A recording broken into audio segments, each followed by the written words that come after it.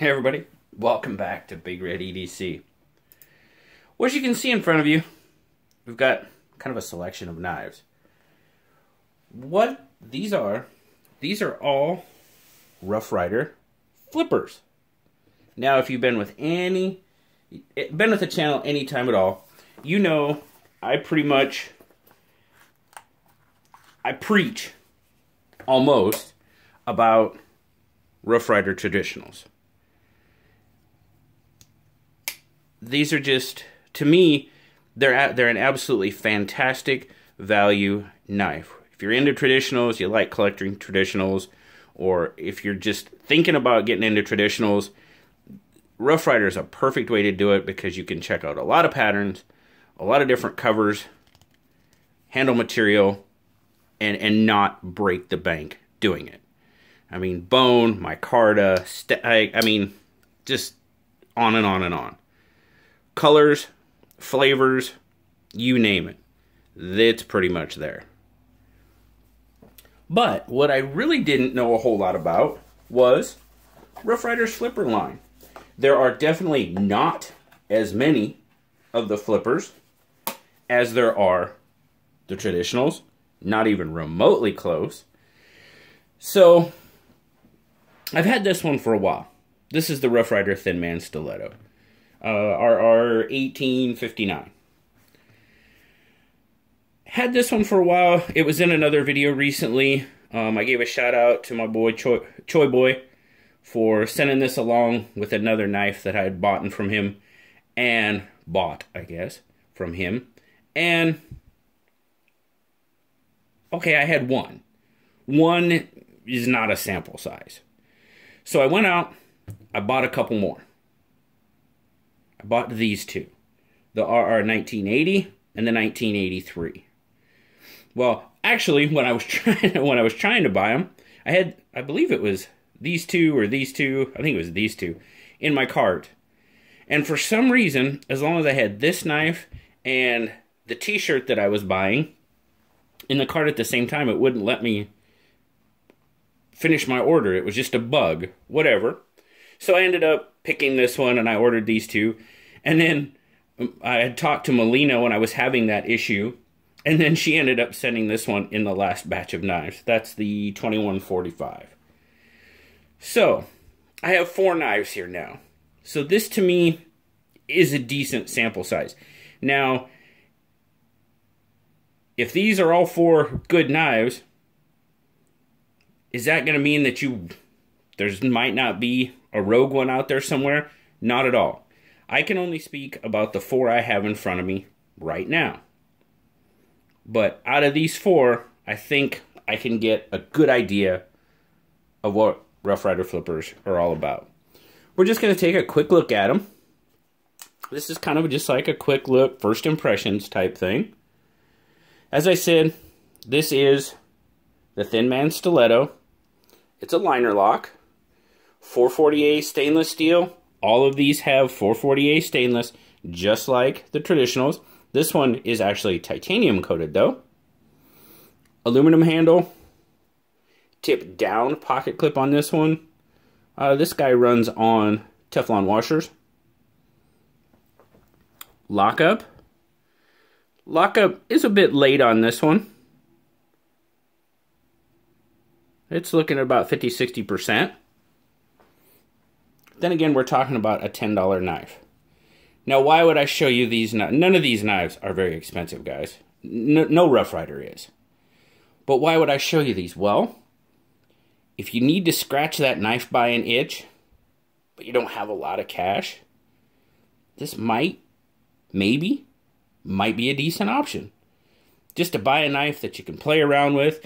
These knives are absolutely perfect. The 440A stainless, perfect for learning how to sharpen. Perfect for that. And I'll get into it a little bit more when we get down here as to the options in sharpening her. The yeah, we'll go with options. but not a bad little knife. This one. Everything's chamfered pretty well. There's no real sharp spots on it.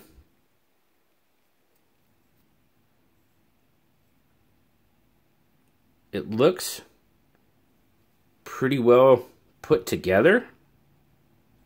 Now this one I have had for a little while. Solid. This one I don't carry a lot. This one actually is the letter opener of the house. Works perfect for that.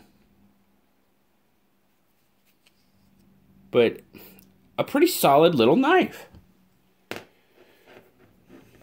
Next one we're going to take a look at is the 1980. Again, like I said, 440A stainless.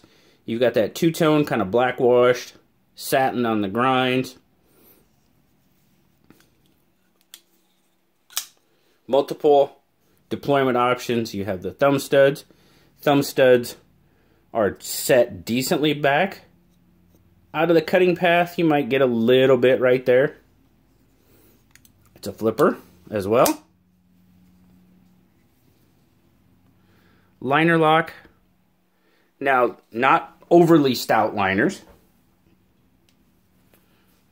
Let's see if I can get some light on this one.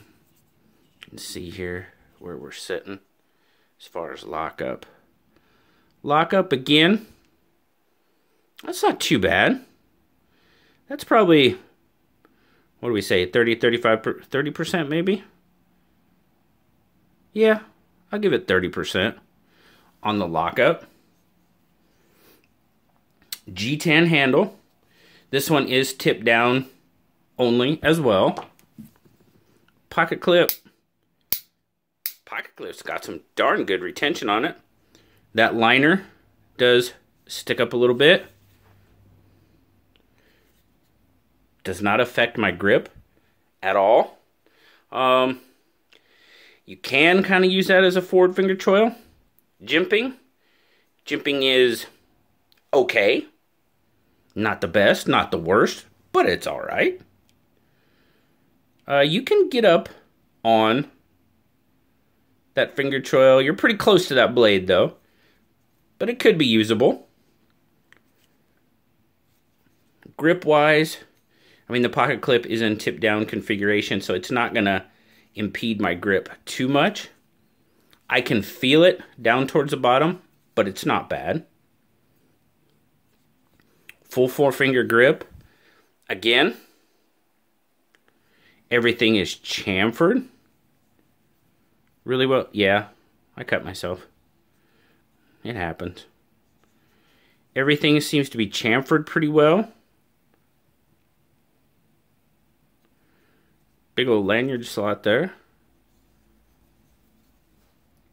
But this one, the 1980, 799.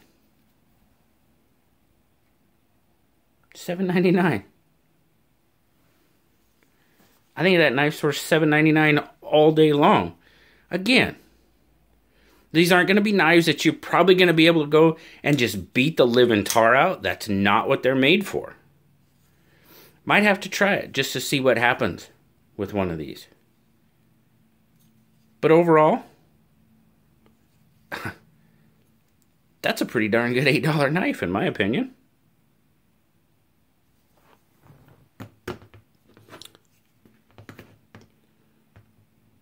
Sit there. There you go. This is the 1983.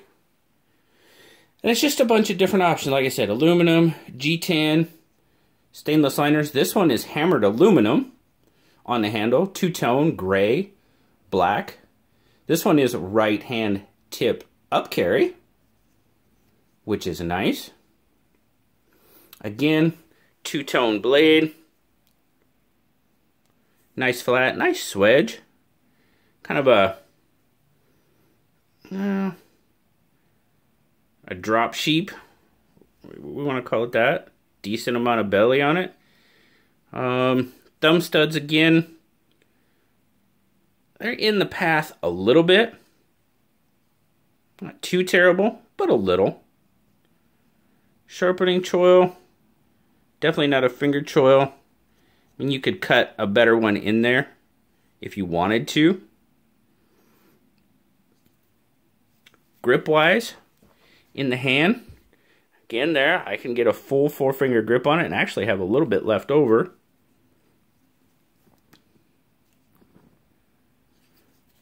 Pocket clip.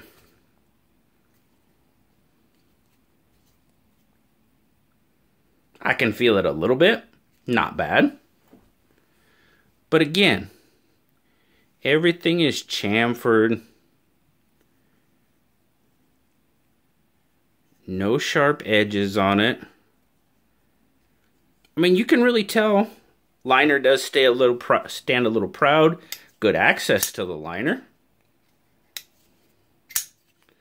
The liner does not impede my grip once again.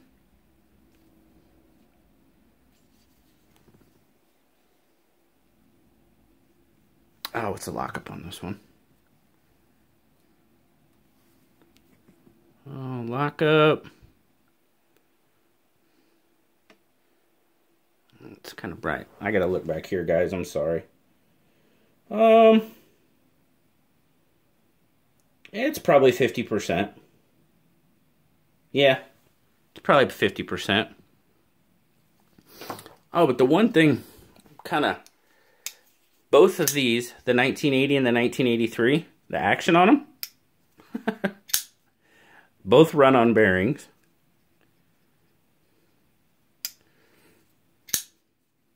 Snaps out.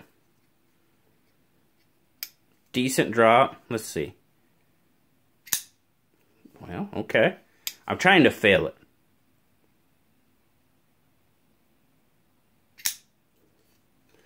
I, I really am. I'm trying to fail this.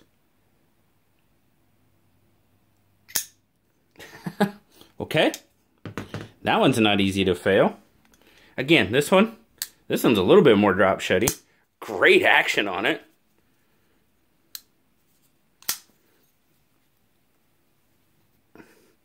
Just a tiny, tiny bit of blade play in that one. What's the centering like? Centering is maybe a little to the clip side on this one.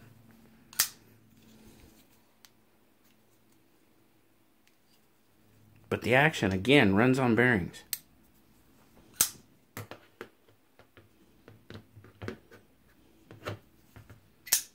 That one don't want to stay, does it?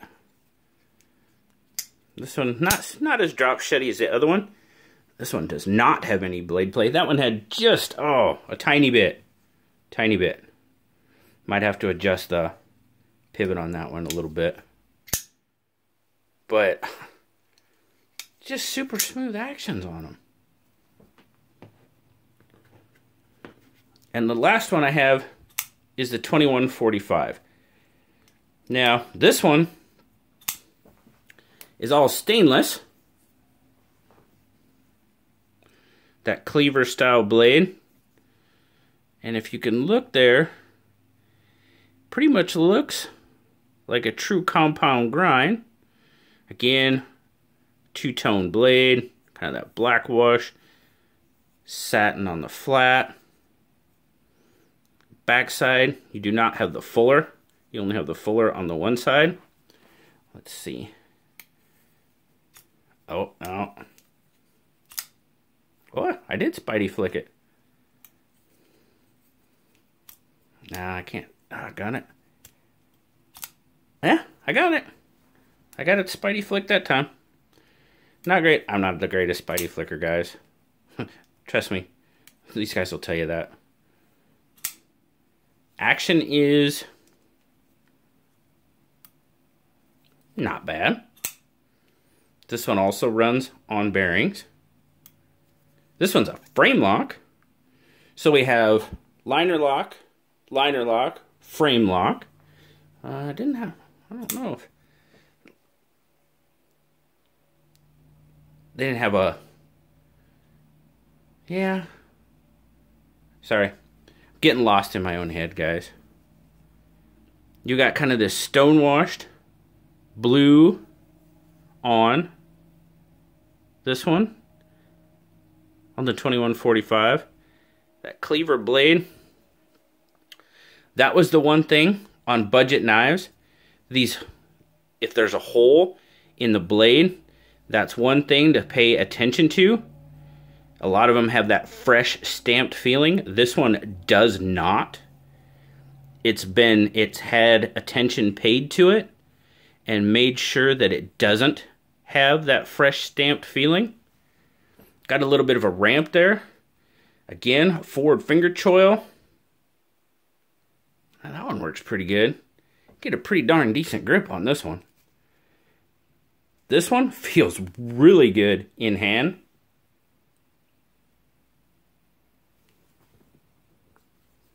Again, it's had the attention paid to it. I mean, the screws aren't recessed on the clips, that type of thing. But man, just a fantastic, fantastic. I don't know, guys. Let me know down in the comments. What do you think?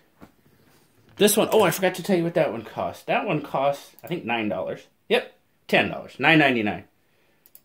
I'm sorry. This one, $9.99. The 1983. This one, this one, whew, it's a bank breaker, guys. $14.99. Be careful. And, and I say that in jest, of course. But you buy all you buy all these knives and spend less than 40 bucks. You know, could you spend 40 bucks on a CJRB or something like that? Sure you could. But again, like I said, if you're got to scratch that knife by an itch and don't want to spend a whole lot of money and get a fairly decent knife, I think the Rough Ryder Flipper is a decent option, guys. I really do. Tell me down in the comments, what do you think? Do you agree? Do you disagree? Let me know. I'd like to hear what you think. Thanks a lot for watching, guys. Checking out some of the Rough Ryder flippers with me. As always, like, subscribe, leave me a comment. You know I love talking to you. Until next time, I'll talk to y'all later, guys. Bye-bye.